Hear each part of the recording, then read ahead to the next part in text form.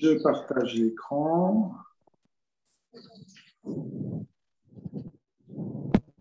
Et on commence. Donc, euh, la dernière fois, on avait vu euh, ce qu'était la science appliquée euh, aux tortues marines, aux tortues marines surtout dans le contexte de biologie de la conservation. Et donc là, on va rentrer dans des choses un peu plus précises. je veux connaître la tendance de ma population et donc qu'est-ce que je peux faire et qu'est-ce que je qu'est-ce que je peux ne pas faire? Alors d'abord, il faut définir clairement l'enjeu. Quand je reviens sur ma diapo précédente, comment connaître la tendance de ma population? Ben, On va déjà définir les deux termes, tendance et population, et vous allez voir que rien que là, on a déjà de gros soucis quand on s'intéresse aux tortues marines. Alors, les deux termes importants, c'est euh, tendance et population. Alors, c'est des termes qui peuvent sembler euh, simples comme ça à première vue. Et puis, euh, quand on va s'intéresser précisément à ce qu'il y a derrière, vous allez voir qu'en réalité, c'est très complexe. Donc, tendance. Ben, la tendance est euh, sur une échelle temporelle. Est-ce que c'est stable, en croissance ou en décroissance? Mais première observation, c'est souvent, et c'est même tout le temps, plus complexe que simplement euh, ça monte, ça baisse ou c'est stable. On a typiquement euh, ce genre de, données. Ça, c'est euh, des tortulutes en Guyane française. Et donc, ben, vous voyez que c'est clairement un modèle plus complexe que simplement une croissance, une décroissance. Alors, on va s'intéresser plus, plus précisément à euh, ce qu'est un modèle de dynamique des populations et pourquoi on arrive à ce genre de situation.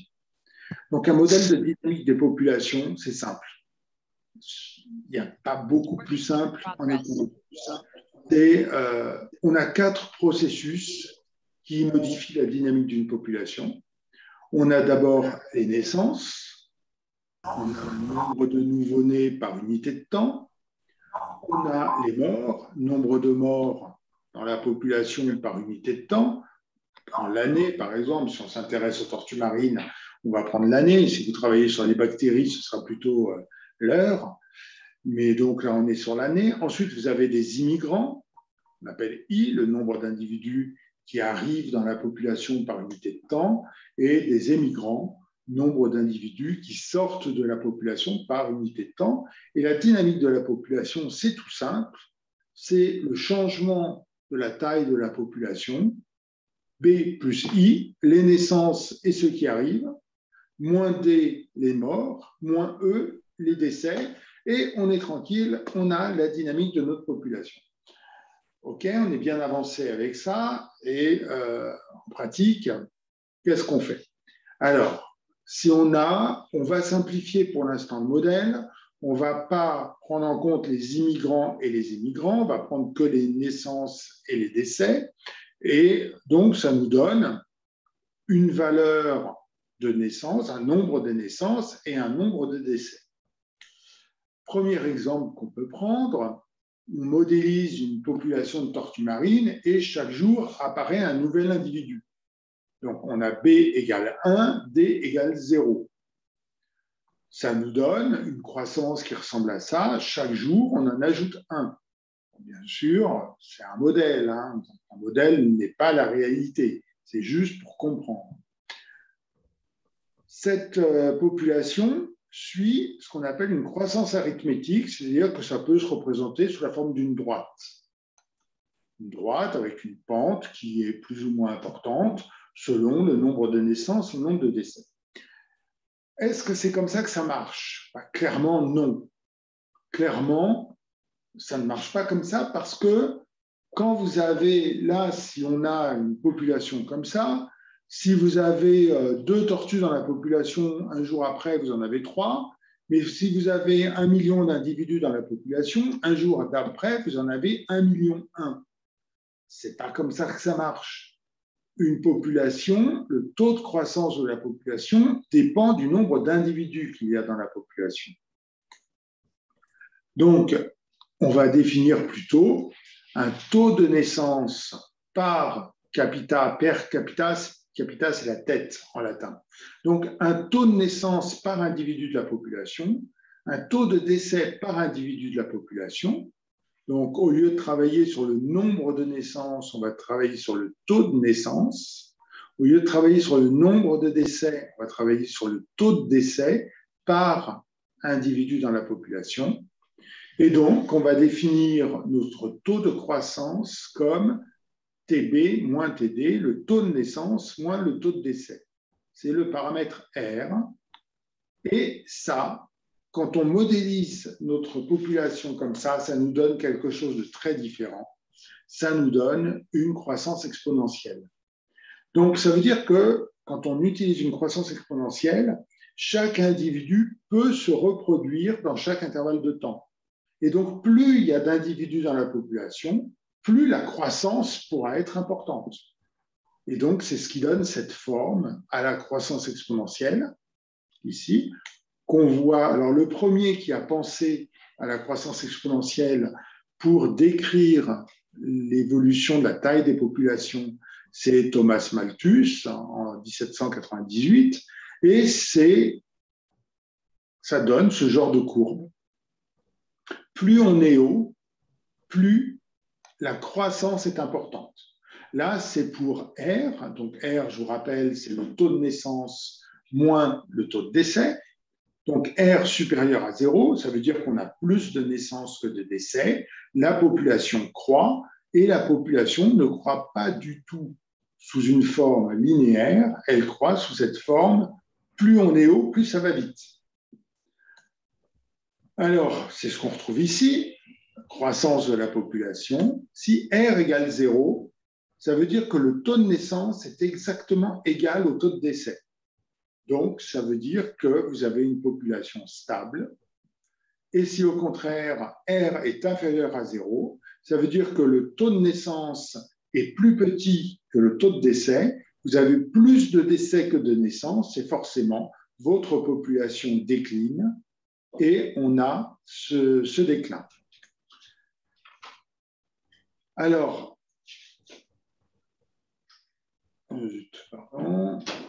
la population décline.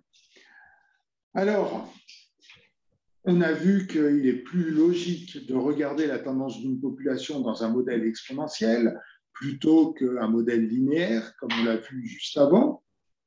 Mais en utilisant simplement un modèle exponentielle, on sous-entend que la valeur R, notre R qui est TB moins TD, le taux de naissance moins le taux de décès, est constante.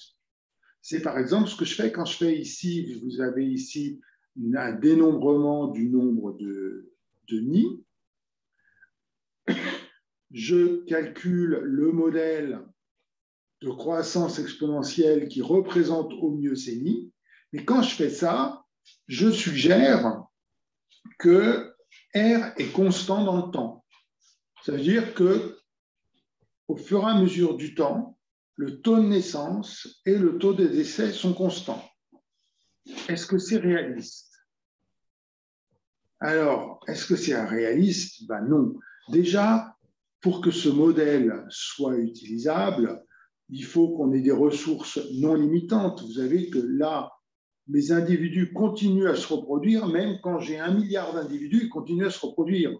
Or, clairement, avec un milliard d'individus, ils auront épuisé les ressources de l'environnement.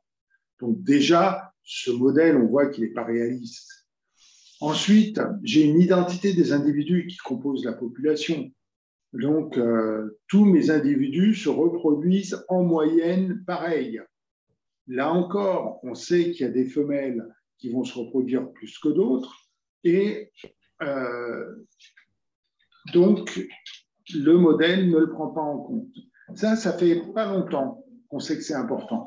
Ça fait 4-5 ans qu'on commence à se rendre compte que le fait qu'il y ait des individus qui se reproduisent plus que d'autres, c'est pas la même chose que de prendre la moyenne.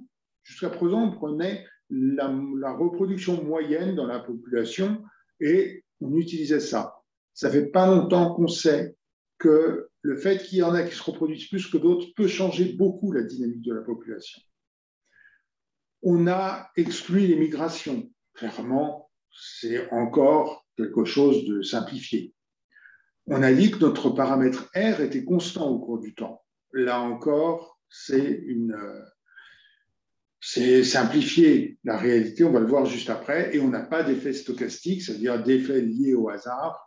Là encore, donc c'est une simplification de la réalité.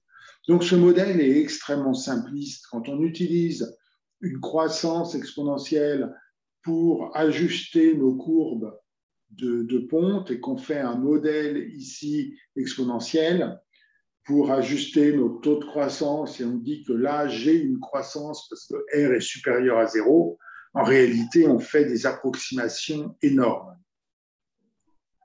Alors, notre constance du paramètre R, lui encore, on sait que l'environnement euh, va changer notre valeur de R. Si R, taux de naissance moins taux de décès, si vous avez une année très chaude, ben, vous allez avoir, par exemple, les œufs qui vont mourir. Ou euh, si vous avez euh, une année très froide, ils vont mourir aussi. Donc, vous voyez que le taux de naissance dépend des facteurs de l'environnement. Pareil pour les, décès. Ça va dépendre aussi de la densité de la population. Si votre population utilise toutes les ressources de l'environnement, les individus n'auront plus assez à manger, et n'ayant plus assez à manger, ils vont avoir un taux de mortalité important. Ça dépend aussi de facteurs stochastiques.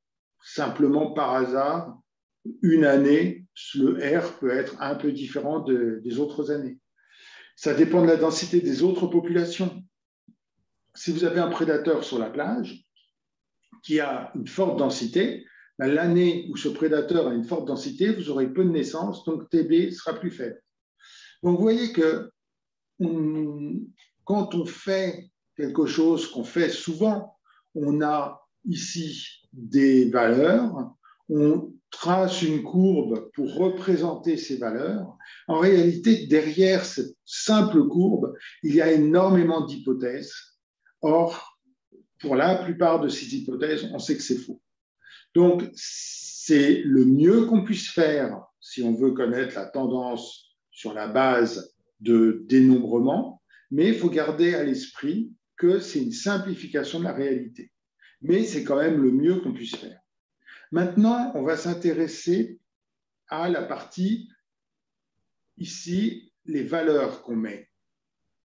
Donc les valeurs qu'on met, par exemple, ici, c'est un nombre de nids.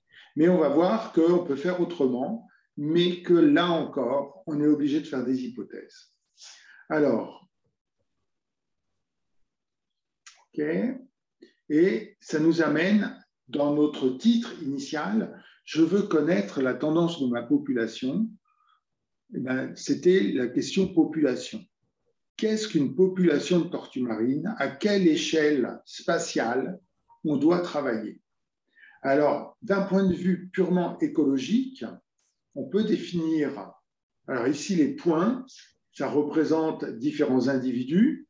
Vous avez des points noirs une espèce noire, des points rouges, une espèce rouge, et donc une représentation spatiale de ces individus.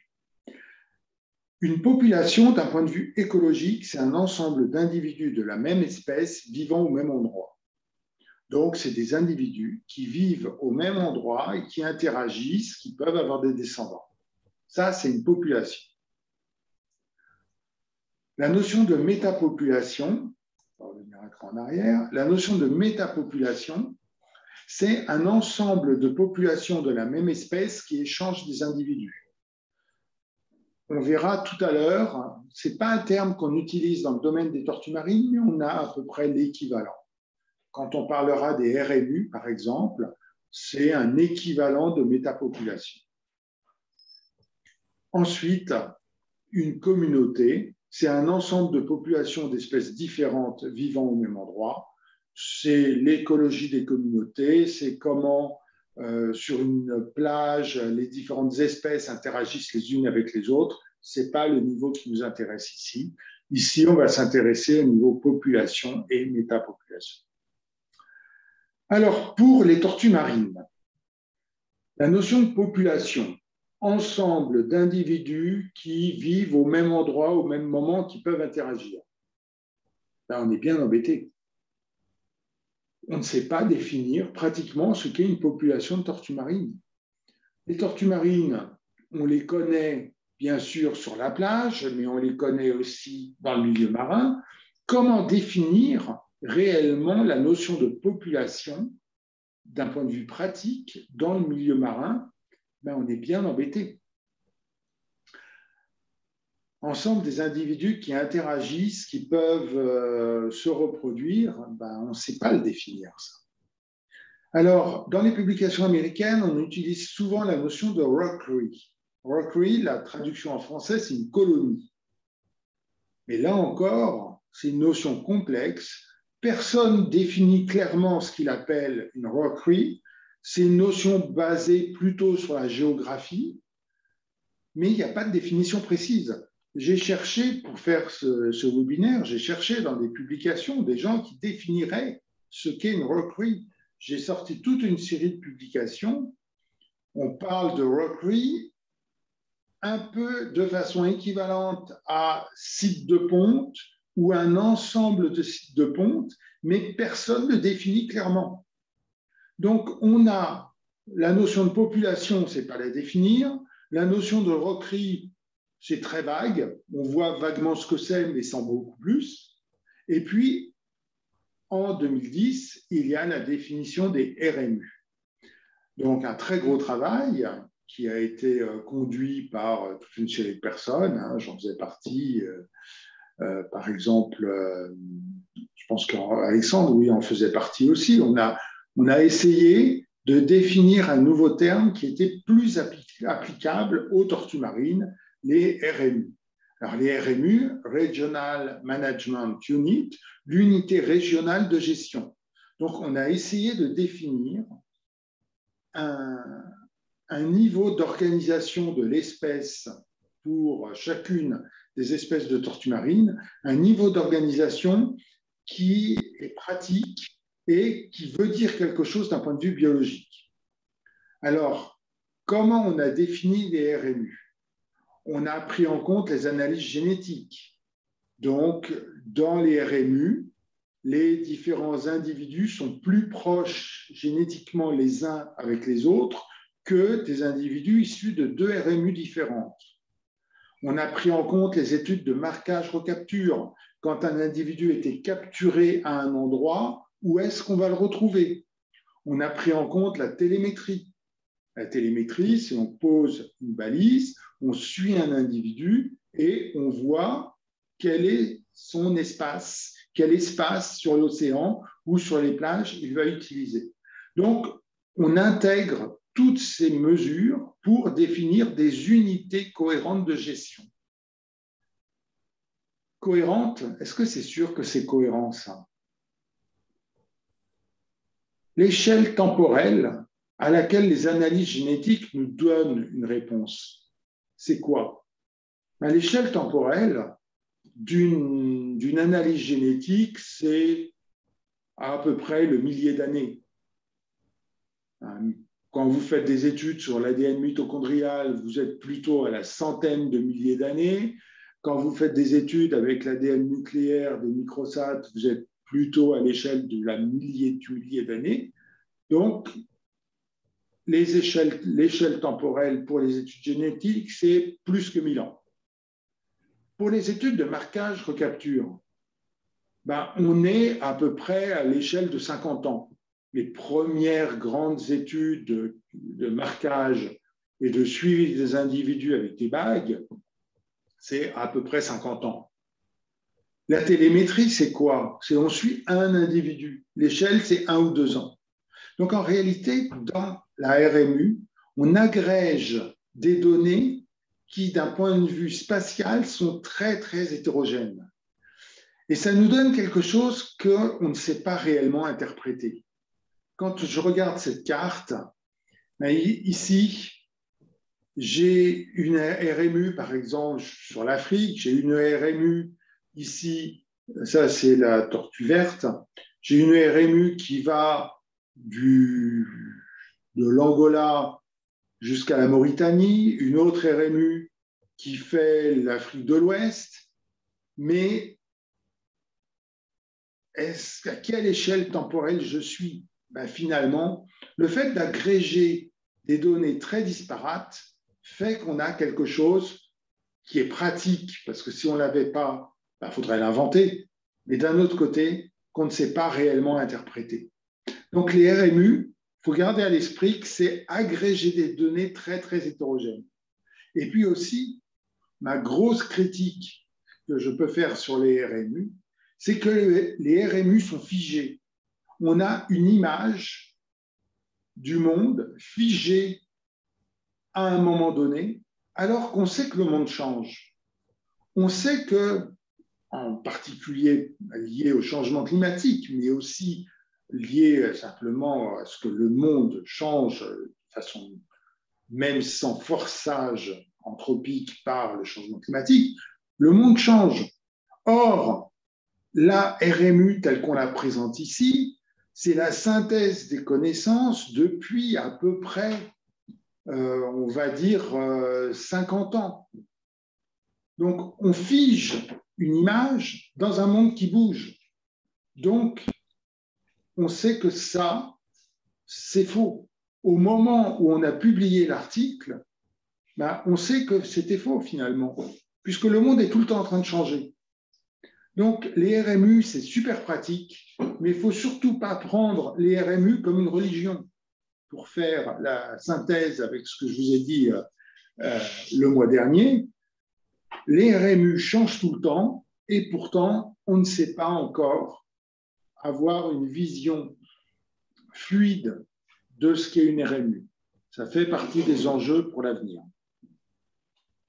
Donc les RMU, c'est pratique, mais il ne faut pas essayer de leur faire dire trop de choses. Alors ensuite, on ne va pas travailler, bien sûr, sur l'ensemble de la RMU, on va travailler sur différents segments.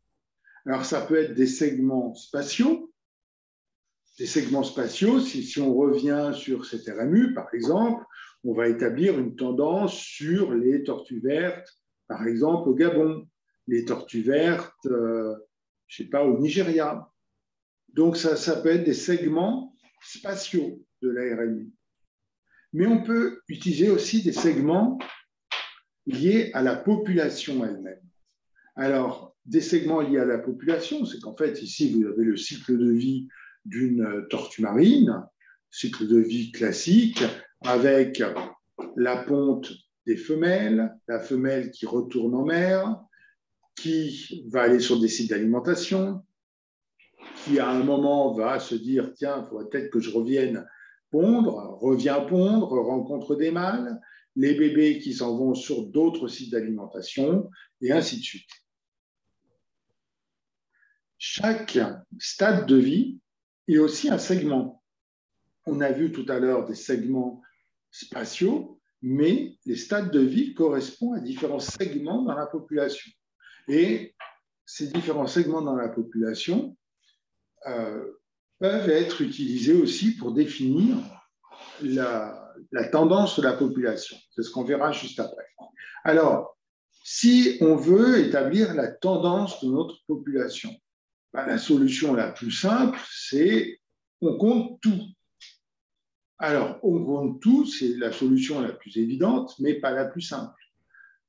C'est impossible chez les animaux de tout compter. Alors, c'est encore pire chez les tortues marines, parce qu'on ne voit pas les juvéniles. Une fois qu'ils sont en mer, on ne sait pas trop où ils vont, ils se laissent dériver par les courants. Les mâles, on ne sait jamais trop où ils sont. Bon, clairement, l'énumération exhaustive, compter tout, on sait qu'on ne peut pas le faire. Même chez les plantes, par exemple, ça c'est une image d'un parc euh, en Afrique de l'Est, on peut dénombrer les arbres. Mais en fait, même chez les plantes, parce que les arbres, heureusement, ça ne bouge pas, ça ne bouge pas à l'état de l'arbre, mais ça bouge au stade graine et au stade plans de petite taille, on ne peut pas les voir. Donc, en pratique, faut se dire que jamais on compte tout. C'est impossible. Donc, l'énumération exhaustive n'existe pas en écologie. Les gens qui vous disent Moi, j'ai compté toute ma population, ce n'est pas la peine que je fasse des statistiques parce que j'ai tout compté, en général, c'est qu'ils ne savent pas faire de statistiques s'ils vous disent ça. Hein, on ne compte jamais tout, on n'a toujours qu'une fraction de la population. Donc, l'alternative, on fait une énumération sur une fraction de la population. Alors, pour faire ça, on fait un échantillonnage. Un échantillonnage, c'est une mesure d'un fragment d'un système biologique. Avec cet échantillonnage, on essaye de capter ses propriétés pour répondre à une question claire et précise qu'on a posée. La méthode d'échantillonnage dépendra de l'objectif de l'étude, des exigences spatio-temporelles. Si vous êtes dans une région où vous ne pouvez pas passer la frontière, ben, vous allez vous limiter à la frontière, même si la frontière n'est pas euh, pertinente d'un point de vue biologique, mais simplement c'est des contraintes liées au fait qu'on est des hommes et on ne peut pas passer des frontières. Alors, euh, comment avoir une estimation de la taille du segment des espèces qui nous intéressent? Donc un segment, c'est une partie cohérente. Alors l'ensemble des individus, les mâles, les femelles, les juvéniles, quand on travaille sur les tortues marines, clairement, il y a des segments de la population pour lesquels on sait qu'on n'a pas accès. On sait qu'on n'a pas accès à l'ensemble des individus. Il faut, faut, être lucide, jamais on n'aura accès à l'ensemble des individus jamais on n'aura accès aux mâles, jamais on n'aura accès aux juvéniles. Il nous reste les femelles. Et ça, en fait, euh, quand, on, quand on étudie une fraction, comme ça, un segment de l'espèce, et qu'on utilise la tendance sur ce fragment de la population pour avoir une idée de la tendance globale, on fait ce qu'on utilise un proxy. Un proxy, ça vient du latin proximus, qui veut dire proche. Un proxy, c'est une valeur qu'on estime proche de la vraie valeur que l'on cherche. On fait des hypothèses. Donc en fait, quand j'établis ma tendance sur le nombre de femelles et que je dis c'est la tendance de ma population, j'utilise le nombre de femelles comme un proxy de la taille de la population. Mais en faisant ça, je fais des hypothèses. Je fais des hypothèses que ma tendance sur les femelles est la même que la tendance sur le reste des segments de la population, juvénile, mâle, subadulte. Donc je suis obligé de faire ces hypothèses. Alors, pour les tortues marines, on a la chance, contrairement aux cétacés, on a la chance qu'une partie des individus vient sur les plages et là, on peut les étudier. Donc, on va utiliser les femelles comme étant un proxy de la population. Alors, quand les femelles viennent sur les plages, qu'est-ce qu'on peut faire? On peut les marquer. Première, euh, première chose que, que tout le monde fait dans le domaine des tortues marines, on marque les femelles. On marque comment les femelles? Alors, on doit utiliser un marquage qui doit être neutre pour l'individu et permanent. Ça, c'est la base. Neutre, permanent. Neutre, ça veut dire quoi? Ça veut dire qu'un individu, marqué, on doit avoir autant de chances de le retrouver qu'un individu qui n'a pas été marqué. Si l'individu marqué, euh, on le voit moins parce qu'il est gêné, parce qu'il meurt, clairement, c'est un mauvais marquage. Il doit être permanent. Si le marquage tombe, c'est pas bon. Si on utilise une identification visuelle, on verra après des exemples sur les tortues marines, il faut limiter la possibilité des faux positifs et des faux négatifs. Faux positifs, pardon, on croit à tort que l'animal est le même.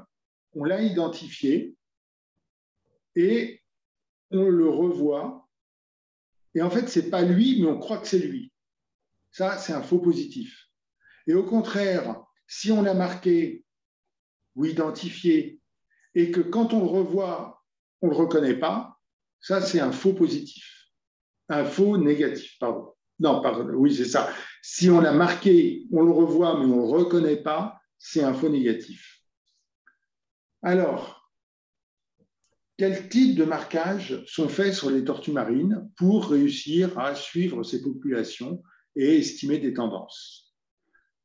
Premier, type de, marquage qu'on peut faire, c'est de la photo-identification.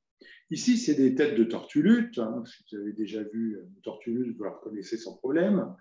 Avec cette tache rose très particulière sur le dessus de la tête. Ça, c'est un travail qui a été fait par euh, Peter Dutton et Donna MacDonald aux îles Vierges, je crois, oui, c'est aux îles Vierges. Et ils ont réussi à voir le même individu, ils ont réussi à avoir le même individu et à faire des photos plusieurs années. 86, 1990, 1992. C'est le même individu. Et donc, vous voyez que cette tâche, par exemple, qu'on a pensé utiliser comme étant une, comme empreinte digitale, ben, cette tâche, en pratique, elle évolue dans le temps. Vous voyez, là, ça se voit très bien. On a un trou noir ici. Là, on l'a pas. La tâche s'est étendue ici. Retrouver que c'est le même individu, voilà, c'est quasiment impossible. Sauf que ces individus, en plus, avaient des, marques.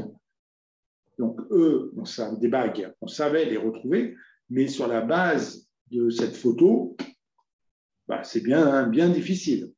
Un autre exemple avec des tortues euh, vertes. Ici, par exemple, un individu, A1, A2, qui est revu, euh, je ne me rappelle pas du, pas de temps, mais qui est revu quelque temps après. Et lui, on le reconnaît. Là, on voit bien que ces deux écailles sont séparées. Et ces deux écailles séparées, ben, on le retrouve d'année en année. Par contre, celui-là, on voit que c'est ici, il y a deux écailles, c'est le même individu entre B1 et B2. Il y a deux écailles qui sont séparées ici, elles ont fusionné ici. Donc là, ça a marché. Là, on a pu retrouver l'individu. Là, si on ne fait pas attention, on pourrait croire qu'il est différent parce que le patron d'écailles est différent. En réalité, c'était le même. Donc, euh, ça, c'est un faux négatif. Un autre exemple, ça c'est une proposition qui a été faite par Jacques Frétet, d'utiliser les blessures sur les pattes. Ici, c'est des pattes de tortue blessées, ça c'est des euh, données euh, obtenues en, Guyane, je pense. Euh, vous voyez que selon le patron de blessure, on peut distinguer les individus. Le problème, c'est que quand on a ça, la partie, la, la patte 1, si elle se fait croquer la pâte encore une fois, ben la 1 peut tout à fait se transformer en 3. Donc vous voyez que là encore, on a des faux négatifs. Et inversement, deux, par exemple, ça et ça, est-ce que c'est la même chose ou pas? Ça peut être des faux positifs. Donc, les observations visuelles chez les tortues marines, il faut s'en méfier beaucoup. On peut avoir des faux positifs, des faux négatifs. quelque chose que vous connaissez tous, les bagues. Les bagues perforantes en monel, en inconel. Alors, c'est différents alliages de, de différentes compositions ou en titane. Des bagues qu'on met sur les pattes des tortues marines. Et euh, on identifie les bagues avec des numéros. Le problème, c'est que, si je vous rappelle ici dans les euh, identifications doit être permanent. Les bagues sont-elles permanentes? Bah, Je pense que vous le savez que non. Hein. les bagues tombent. Ici, c'est euh, la, la, perte des bagues chez les tortues luttes en Guyane. Les bagues, on en met deux.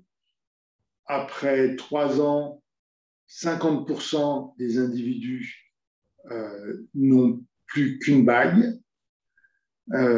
et après six ans, on n'a plus que 25% des individus.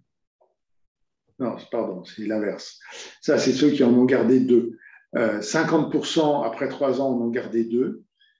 On en a à peu près 75% qui en ont plus qu'une et donc 25% qui ont perdu, les, perdu une bague, euh, non, les deux bagues, voilà, je mélange. Euh, après six ans, après six ans, 50% euh, des individus restent sans bague et donc on les a perdus. Donc, les, bagues, ben, clairement, ce n'est pas permanent. Et c'est peut-être pire que ça. Ça, c'est un travail qui a été fait sur les manchots. Alors, les manchots, euh, donc des oiseaux qui vivent à Terre Adélie, c'est effectivement très très loin de vos préoccupations tortues marines, mais l'histoire est intéressante. Alors pourquoi c'est intéressant? Les manchots en Terre Adélie, on a un déclin très important, déclin de 50% des populations de manchots empereurs en Terre Adélie. Et à partir des années 1970, la survie des adultes décline fortement. Ici, vous avez le nombre de couples de manchots et vous voyez que ça décline de façon très très importante et avec un taux de réussite qui baisse. Donc, déclin des manchots. Quand on est biologiste, on a un manchot, on voit que ça décline. Qu'est-ce qu'on fait? On le bague pour suivre les, individus. Et puis, euh, et puis, on suit les individus. Et puis, on se rend compte que les manchots empereurs marqués par une bague à la patte sont revus moins que ceux qui sont non marqués, non bagués. Alors comment on le sait? Parce qu'on met aussi des transpondeurs. Donc ceux à qui on met seulement un transpondeur on les revoit plus que ceux à qui on met un transpondeur plus une bague. C'est inquiétant quand même. Et effectivement, le taux de survie des individus bagués est plus faible que le taux de survie des individus non bagués. Entre 1987 et 1996, environ 36 000 manchots de 10 espèces ont été marqués dans l'hémisphère sud. Donc, on marque des manchots, mais en les marquant, finalement, on baisse leur survie. On baisse leur survie et en plus, on les empêche de se nourrir. Euh, ça, c'est les manchots bagués reviennent beaucoup plus tardivement sur les sites de nidification que les manchots non bagués. Donc, en fait, dans les années 70, on voit que les populations déclinent, et qu'est-ce qu'on fait? On les marque. Et plus on les marque, plus ça décline. Mais en fait, c'était tout simplement les marques qui faisaient que ça déclinait. Donc, vous voyez que là, on a clairement un marquage qui n'est pas neutre du tout. On n'a pas de données vraiment équivalentes chez les tortues marines, mais on sait et ça c'est le travail d'Alexandre Girard, on sait que l'endroit, que les individus marqués présentent plus de fibropapillomes que les individus non marqués. Marquer un, individu, je sais pas si vous voyez, j'ai une bague ici, je pense que vous les connaissez tous. Ces bagues, ces bagues sont très, très. Euh, c'est très invasif. On fait un énorme trou dans la patte. S'il y a des virus qui traînent dans l'eau, ben, l'animal se contamine. Donc, les bagues sont clairement euh, un, enjeu et, à mon avis, à proscrire. C'est développé à partir des années 95-96 la radio-identification via des transpondeurs. Si vous avez une photo d'un transpondeur à côté d'un crânerie, on injecte le transpondeur sous-cutané, intra-abdominal ou intramusculaire, et ça permet d'identifier l'individu. L'intérêt du transpondeur, c'est que c'est plus neutre. Il n'y a pas quelque chose qui dépasse du corps. On fait une injection. Vous connaissez le principe, marquage, on injecte le transpondeur dans le muscle, on relâche l'individu et on, le, on regarde s'il y a un transpondeur, soit dans la patte avant, dans l'épaule, soit dans la patte arrière, parce que selon les endroits, selon les pays, on ne les marque pas au même endroit. Donc, le transpondeur apparaît comme étant la solution géniale. Dans les années 90, on avait trouvé la solution de marquer les tortues sans problème. Sans problème, c'est sûr. Regardez le lecteur là. Comment ça marche? Le lecteur envoie un champ magnétique. Le transpondeur modifie le champ magnétique et le renvoie, et ça donne un code. Mais le champ magnétique qui est envoyé ici, à 20 cm, le champ magnétique est d'environ 1 Tesla. Tesla, c'est l'unité de mesure du champ magnétique. Le champ magnétique terrestre, c'est 50 micro-Tesla, soit 20 000 fois moindre. Donc, vous envoyez un énorme champ magnétique sur la patte pour lire le transpondeur, alors qu'on sait que les tortues marines utilisent le champ magnétique pour se diriger. Donc, en fait, ce que vous faites, c'est que ce serait l'équivalent pour euh, prendre un humain, vous envoyez un énorme flash dans vos yeux, mais vraiment énorme, 20 000 fois la lumière normale du soleil. Vous êtes complètement aveugle pendant un moment. Ben, en fait, c'est ce qu'on fait aux tortues marines quand on lit les transpondeurs. On leur envoie un énorme champ magnétique et quelle est la conséquence de ça? Ben, On ne sait pas. Donc, vous voyez que même le PIT qui apparaissait comme la solution super, pas de problème, méfiance. D'où, si on veut faire une recommandation pour euh, les PIT, vaut mieux poser les PIT aux pattes arrière, parce que quand vous posez les PIT à proximité de la tête, à l'endroit où il y a les magnétorécepteurs, ben, quand vous lisez le PIT à la fin, probablement, vous perturbez l'animal. Mais les PIT sont-ils la solution ultime? On sait que les PIT tombent. Ça, c'est euh, des travaux qui ont été faits en aquarium. On a mis des transpondeurs sur des requins et on a pu les suivre, ils sont en aquarium, et puis on se rend compte que 12% de pertes chez le, chez le requin citron. Par contre, ceux qui, euh, après deux ans, ceux qui tenaient, ils restent. On a fait la même chose chez les Kawan. Euh, c'est un papier qu'on a publié avec euh, Joe Faller. Ben, on a montré que les pits tombent aussi. Alors, par contre, si les pits tiennent plus que 100 jours, c'est bon, ils tiennent. Mais dans les 100 premiers jours, les pits peuvent tomber. Donc, les pits, c'est une bonne solution si vous les mettez à la patte arrière et si vous savez qu'ils peuvent quand même tomber, ça vous donne des faux euh, négatifs. Alors, donc, on a une solution pour marquer les femelles, les pits aux pattes arrière. Qu'est-ce qu'on fait de ces données? Ben, Ces données, on va utiliser ce qu'on appelle des modèles de capture, marquage, recapture. Les modèles de capture, marquage, recapture, c'est ce qu'on appelle le gold standard du suivi des tortues marines, c'est-à-dire le, top de ce qu'on sait faire. On a publié en 2020 avec Jean-Dominique Le Breton, qui est un des grands experts mondiaux sur les captures, marquage, recapture. On a euh, publié un article sur le suivi de plus de 30 ans de suivi des tortues luttes en Guyane en utilisant ces modèles. D'abord, il faut garder à l'esprit que pour qu'on puisse utiliser ces modèles, il faut qu'on ait un bon taux de recapture. Si vous marquez un individu, si vous marquez un individu et que l'individu, vous avez peu de chances de le retrouver, laissez tomber, ça ne sert à rien. Il faut au moins avoir 30% de chances de retrouver l'individu. Ça veut dire être présent sur les plages de façon vraiment très, très intense Si vous allez sur les, plages euh, une fois tous les 15 jours, laissez tomber, ça ne sert à rien d'essayer d'utiliser ces méthodes. Ces méthodes, il faut vraiment y aller tous les jours.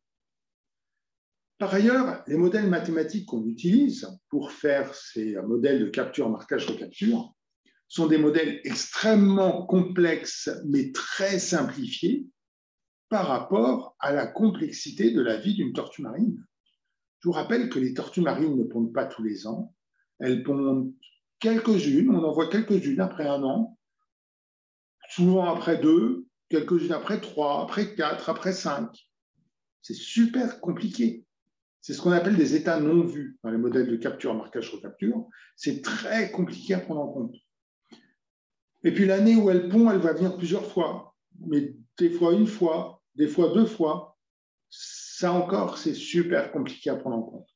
Donc en réalité, on a des modèles très complexes, mais la biologie de l'espèce est encore plus complexe que les modèles qu'on peut utiliser. Et en fait, à la fin, quand on a des résultats obtenus par euh, ces modèles mathématiques, ben on ne sait pas vraiment quoi en faire est-ce que le résultat qu'on obtient est lié à la biologie de l'espèce ou c'est lié aux hypothèses qu'on est obligé de faire? Ben, En fait, on ne sait pas.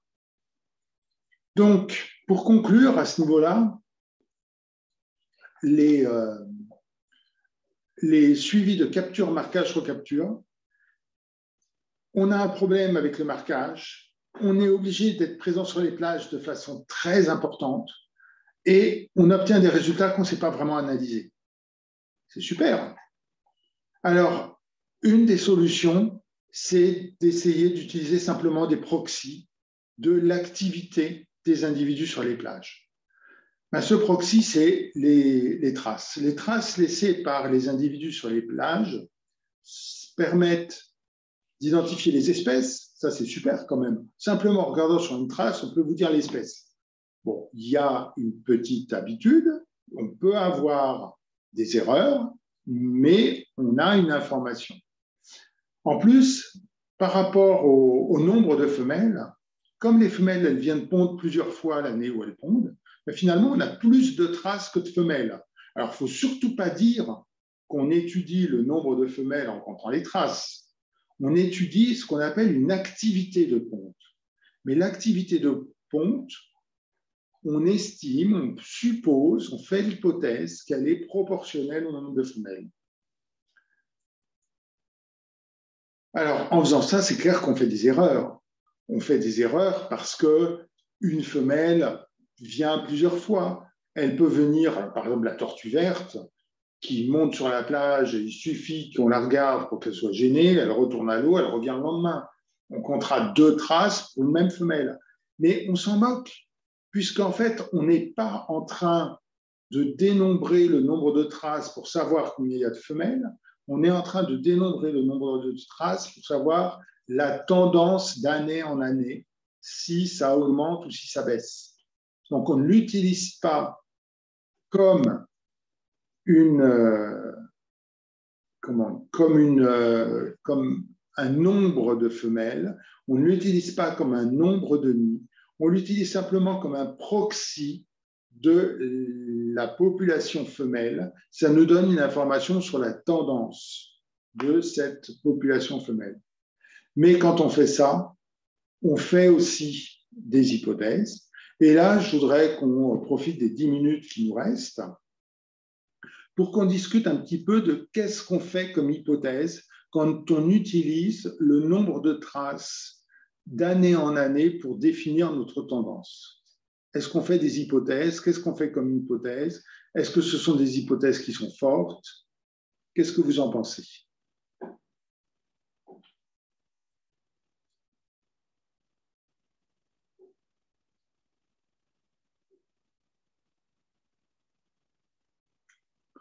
Personne n'ose.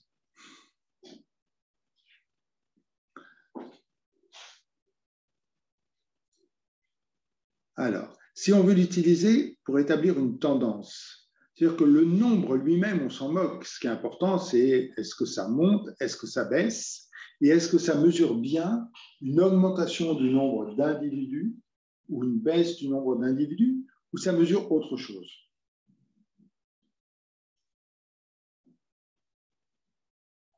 Alors, si vous avez plus d'individus dans la population et qu'elles pondent toujours autant, clairement, ça va augmenter. Donc, c'est bon. Mais par contre, si vous avez plus d'individus, mais qu'elles font de moins en moins de pontes, donc de moins en moins de traces sur les plages, la population monte, mais en réalité, vous, vous pourrez croire que ça baisse.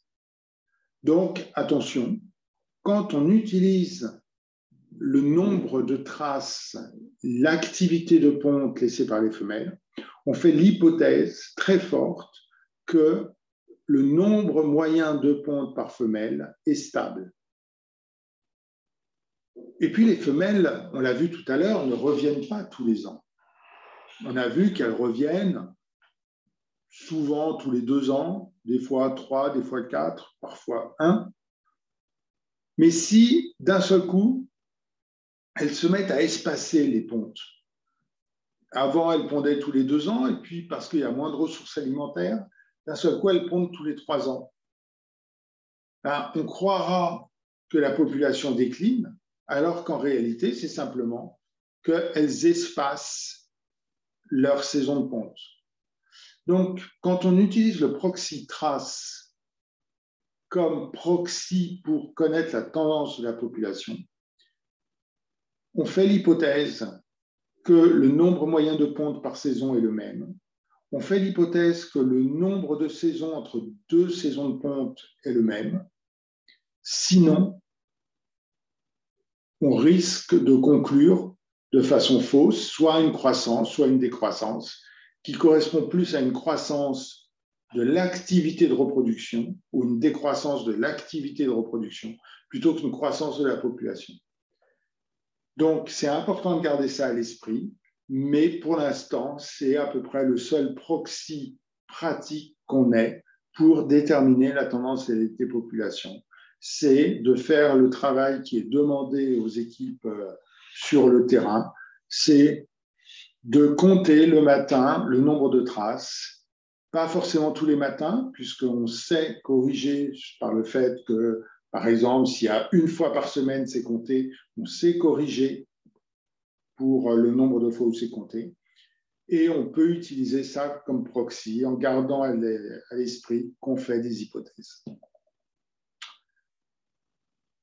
Voilà.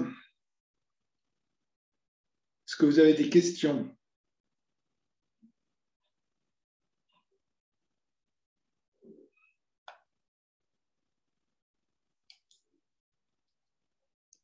Alors,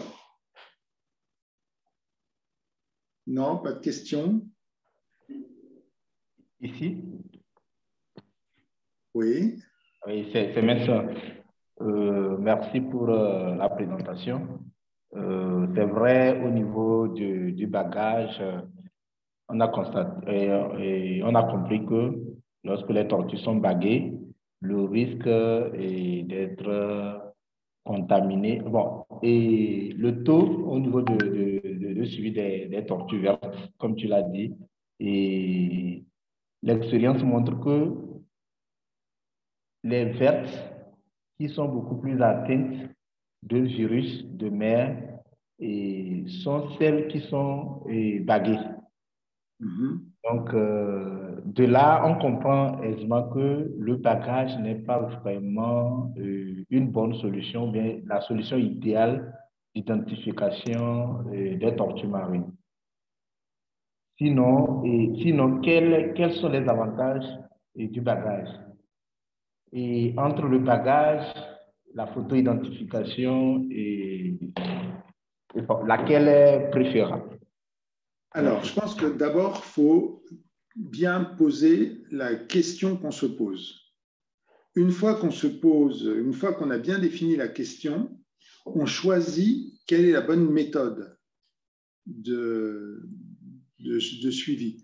Donc, si la question qu'on se pose, c'est quelle est la survie des individus, on est obligé de faire du capture, marquage, recapture Dans ce cas-là, la bonne solution de marquage, c'est le transpondeur aux pattes arrière.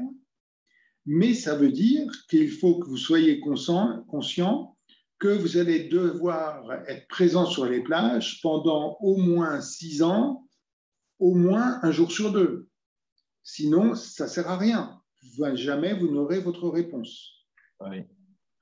Donc, voilà, première, euh, première question. Euh, deuxième question qu'on peut se poser, euh, vous voulez savoir où vos individus se déplacent. Dans ce cas-là, le marquage, à mon avis, n'est pas la bonne solution. Vous allez mettre un argent fou sur euh, du marquage mettre des bagues sur des tortues pour en revoir 1% euh, ou 0,1% pour vous donner une idée. En Guyane, on a marqué à peu près 60 000 femelles. On en a revu 30 en dehors de la région de marquage. 60 000, 30.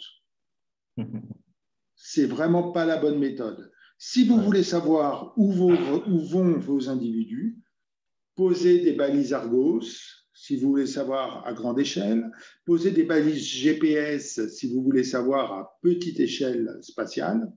C'est une méthode qui vous donnera des résultats bien meilleurs et plus rapidement. Vous aurez l'impression que ça coûte cher. Effectivement, acheter une balise, ça coûte cher. Mais être présent sur les plages pendant six ans toutes les nuits, en termes coût humain, c'est énorme. Donc, dans ce cas-là, vaut mieux trouver un financement pour investir 1000 euros sur une balise plutôt que de partir sur six ans toutes les nuits avec des patrouilles sur les plages qui coûteront beaucoup plus cher. Donc, voilà, si euh, selon ce que vous voulez faire, vous avez différentes solutions, mais il faut toujours d'abord se poser la question qu'est-ce que je veux comme résultat?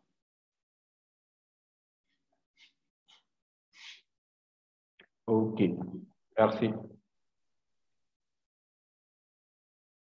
Alors, donc j'ai enregistré là le, webinaire, donc je, le publierai euh, sur, euh, sur le lien WhatsApp et je le mettrai en ligne euh, pour que tout le monde puisse avoir un rattrapage s'il n'a pas pu écouter et je ferai une version en anglais la semaine prochaine.